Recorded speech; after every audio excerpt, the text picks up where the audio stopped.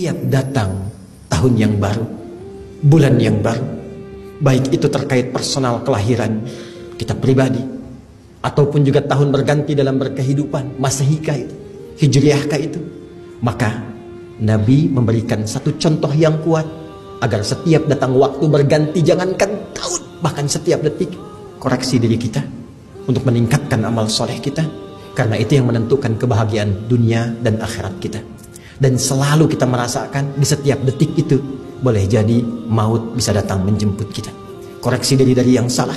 tinggalkan segala yang Allah larang dan kembali kepada jalan kebaikan yang ditunjukkan dalam Al-Quran dan sunnah-sunnah Rasulullah SAW.